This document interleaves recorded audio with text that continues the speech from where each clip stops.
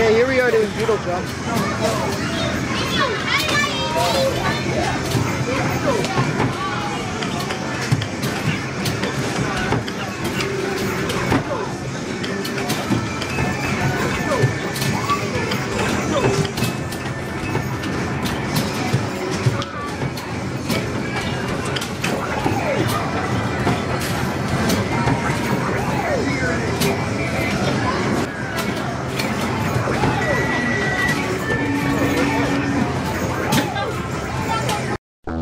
Science.